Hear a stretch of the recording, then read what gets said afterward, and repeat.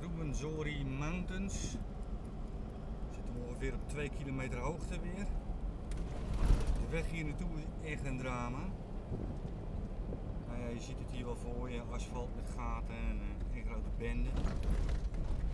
Maar ja, als landcruiser doen het prima. Dit is trouwens ook meteen een nationaal park. Er schijnt niet zo heel veel te zien te zijn. Eh, Queen Elizabeth Park of door naar Ruwenzori Mountains, kilometer 30, 40 of zo. Dan gaan we daar even een pilsje open trekken.